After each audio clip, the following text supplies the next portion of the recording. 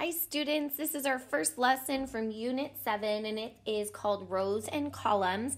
This is a little introduction to arrays and multiplication as well. So I'm really excited to get started on teaching you these new concepts. So a couple of the words that we're going to talk about today is array. We also have the vocabulary word row and column columns. Okay, so just so you guys know, this entire thing right here is called an array. An array shows us a combination of rows and columns. This right here is our row, and this right here is a column. All right, so now we have a new array. An array is a connection with um, rows and columns. So I'd like for us on this example here to look at these rows. We can see that we have three rows. And in each row, we have four stars. So there's four, four, and four. Here we have three groups of four in each group. Let's go back and look at that same array, but looking at now as columns. We have a column here, a column here, here, and here. And so even though it's in columns, we have now four columns. One, two, three, four. And within each column, there's one, two, three stars. So now we have the same array, but in this case, we're now looking at it as four groups with three in each of those groups. So now I've combined both images and we can see that we have the four columns of three and three rows of four. Both in the same array, but it's organized as different patterns.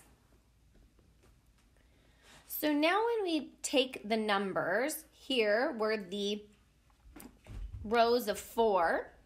We had three rows of four, and when we add those up, the three rows of four, we get 12. Now let's check the same for the columns of three. We had four columns of three. So three and three is six. Three and three is six. That two equals 12. So as you can see, no matter which way we organize it, they both have the sum of 12. So in our array, we could see that we had 12 stars.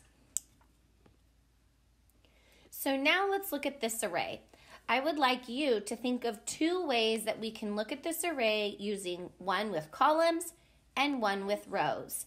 So think about this now and on a separate sheet of paper, write down how many are in each column and how many, how many are in each row and how many rows.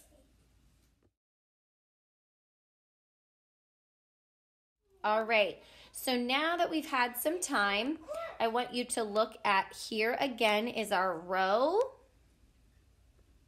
Here again is a row. And so we have two rows or two groups of five. Two groups of five. There's five here and five here.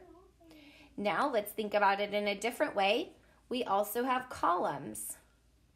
And remember that they have to be equal in our rows and our columns. So in purple, we can see that we have one, two, three, four, five groups of two in each group. Okay, so we can quickly look at this and we can see that there are 10 total dots. Now, when I'm looking at this, I also can think of arrays in ways that I've seen it before. And if I look at it this way, I've seen this pattern so many times. And we can look around us in our world and think about other times that we've seen a arrays. Can anybody guess what this represents right here? That's right. This right here, it's a 10 frame. So I remember from looking at this array before I even drew around in red, oh my gosh, that looks very much like a 10 frame. So now as you guys have known, oh, now that you guys have learned about arrays, look around your house, look around the world, and have a math scavenger hunt. Try to find arrays in the real world. Thanks for listening.